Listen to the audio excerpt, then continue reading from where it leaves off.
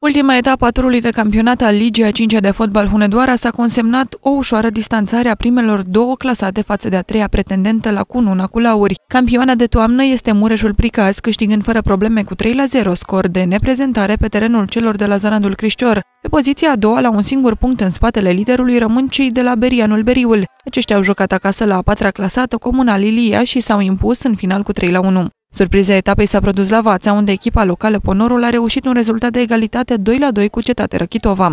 Scorul etapei a fost realizat de Măgura Pui, echipă în mare revenire de formă, care a învins cu 7 la 0 pe terenul inconstantei formații Santos Boz. În schimb, însă, echilibrat a fost jocul disputat în țara Hațegului între penultima clasată, Asia Sântă Mărie Orla, și Agrocompanii Băcia, echipă de la care se așteptau mai multe în acest tur. Oaspeții au câștigat cu 2 la 1, dar au tremurat pe final pentru victorie când gazdele au redus din handicap, dar nu au mai avut puterea să egaleze. Totodată, într-un joc în care orice rezultat era posibil, CS Ghelare a învins pe teren propriu cu 3 la 1 pe Unirea General Bertlo. Ultima clasată, Victoria Dobra, a pierdut acasă cu 2 la 0 în fața celor de la Cerna Lunca Cerni. Chiar dacă turul s-a încheiat la sfârșitul acestei săptămâni, se vor desfășura două partide restante, dar rezultatele registrate în acestea nu pot afecta partea superioară a clasamentului.